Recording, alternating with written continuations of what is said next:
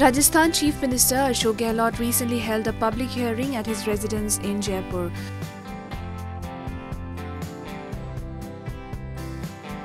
The CM listened to the grievances of people and directed the concerned authorities to solve them as soon as possible.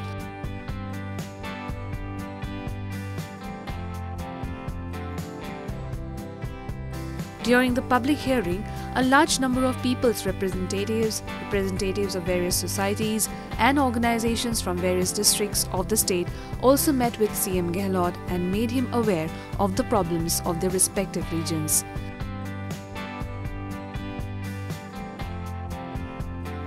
Such public hearings are held from time to time at the Chief Minister's residence so that needy citizens can put their problems in front of the Chief Minister and find their solution quickly.